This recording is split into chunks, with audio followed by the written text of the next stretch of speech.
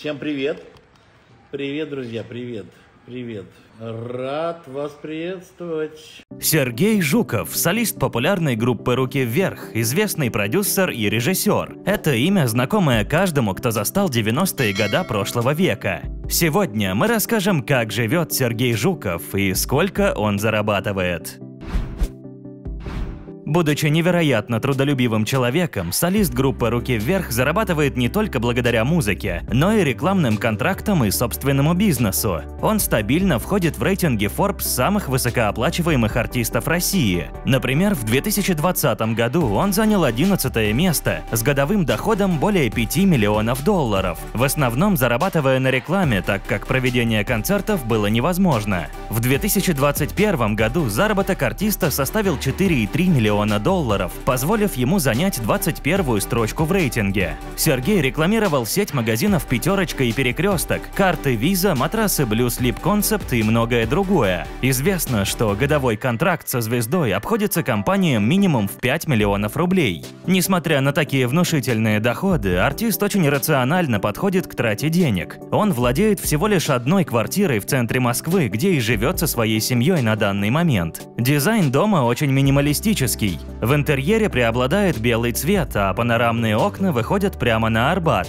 Комнаты довольно-таки просторные и даже есть отдельная гардеробная, о которой так давно мечтал Сергей. Ведь в общежитии и съемных квартирах, в которых ему приходилось жить раньше, для инструментов и многочисленных сценических костюмов не оставалось места. Строить отношения и музыкальную карьеру – достаточно сложная задача, которая не под силу каждому. У Жукова получилось обрести настоящее семейное счастье только со второго раза. С 2000 по 2005 год артист жил в браке с Еленой Добында, и у них даже родилась дочь Саша. Из-за постоянных репетиций и гастролей отец семейства не мог уделять должного внимания своим любимым, поэтому вскоре они развелись. Мать с дочерью уехали в США, что стало большим ударом для артиста. Но спустя несколько лет Сергей встречает Регину Бурт, солистку группы «Сливки». Уже в 2007 году влюбленные решают сыграть свадьбу, а через год на свет появляется их первенец, дочка Ника, а затем сыновья Энджел и Мирон. Сейчас артист уже не хочет повторять свои прошлые ошибки, поэтому все свое свободное время посвящает семье. Половина его публикаций в Инстаграм, за которым следит уже более двух с половиной миллионов человек, это фото с детьми и женой. Сергей Жуков – настоящий пример того, как можно совмещать семью и успешную карьеру.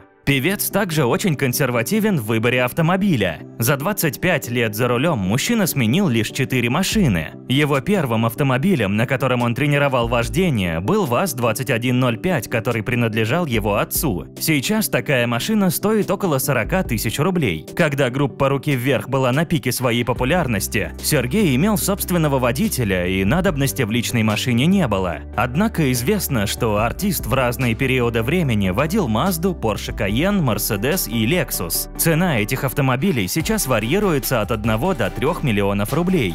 Творческая профессия – дело ненадежное и непостоянное. Так как здесь сложно добиться успеха, большинство родителей не принимают выбор своих детей. Такие разногласия коснулись когда-то и семью Жуковых. Дело в том, что отец Сергея надеялся, что сын пойдет по его стопам и станет радиоинженером. Однако работа на заводе не очень привлекала юношу, поэтому он не послушался и поступил в Самарскую академию культуры и искусств, посвятив свою жизнь музыке. В дальнейшем начинающего артиста поддерживала только мама, а с отцом он не общался. Ему приходилось жить в общежитии и искать подработку, чтобы хоть как-то прокормить себя. И только после того, как руки вверх стали успешными, двое мужчин наконец-то помирились и возобновили контакт. Кроме Сергея, в их семье есть еще один успешный музыкант, его брат Михаил. Так как мама мальчиков была учительницей музыки, в их доме всегда царила творческая атмосфера. Оба сына с детства любили музыку, пели и сочиняли песни. На данный момент младший брат записал несколько сольных альбомов и успешно гастролирует по стране. Среди его репертуара также есть песни «Руки вверх». Когда Сергея спросили, как он относится к этому, артист ответил, что на самом деле многие из песен группы были написаны в соавторстве с братом, и у него есть полное право их петь.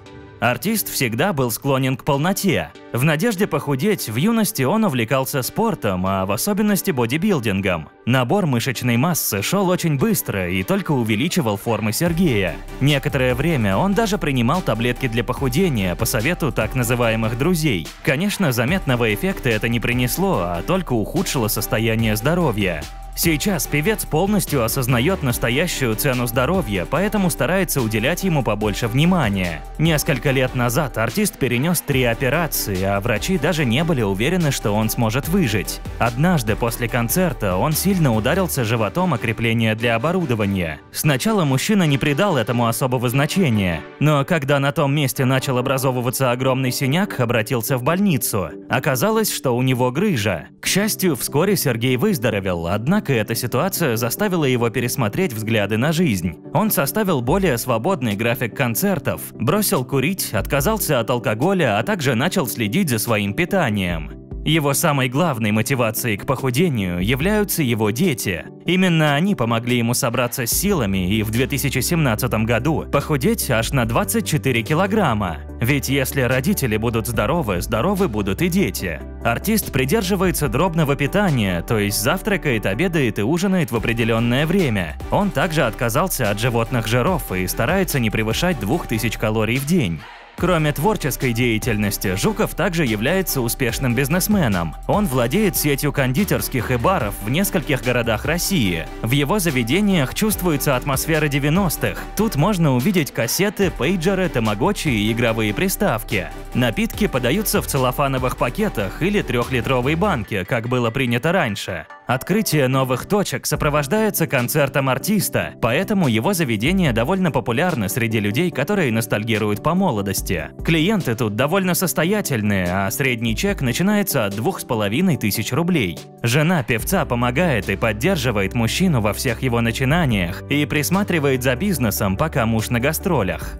Группа «Руки вверх» в свое время была настоящей сенсацией. Смысл песен был понятен каждому, а на концертах создавалась по-настоящему дружеская атмосфера. Парни не имели яркого сценического образа, а выходили на сцену в обычных джинсах и футболках, оставались такими же, как и в жизни. Именно эта простота и душевность привлекала фанатов, поэтому группа давала более 50 концертов в месяц. График артистов был буквально расписан по минутам. Сергей Жуков часто признавался, что что такое насыщенное расписание помогло избежать звездной болезни.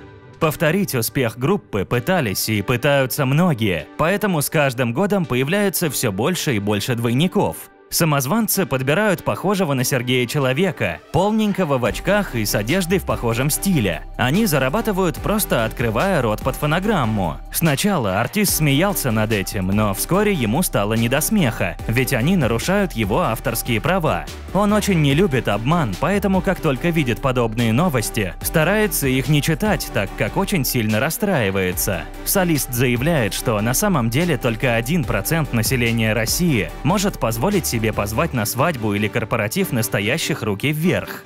Но слава и успех не всегда сопровождали мужчину на его жизненном пути. Родился Сергей Жуков в обычном городе Дмитровграде 22 мая 1976 года. В школе был круглым отличником, любил гуманитарные предметы. В подростковом возрасте начал серьезно интересоваться музыкой, поэтому после выпуска со школы поступил в Самарскую академию культуры и искусств. Зарабатывать на жизнь парню приходилось самому, поэтому он вел радиопередачи, составлял программу и проводил мероприятия. В 1995 году Сергей Жуков и Алексей Потехин создали группу под названием «Руки вверх», которую взял под свое руководство Андрей Маликов.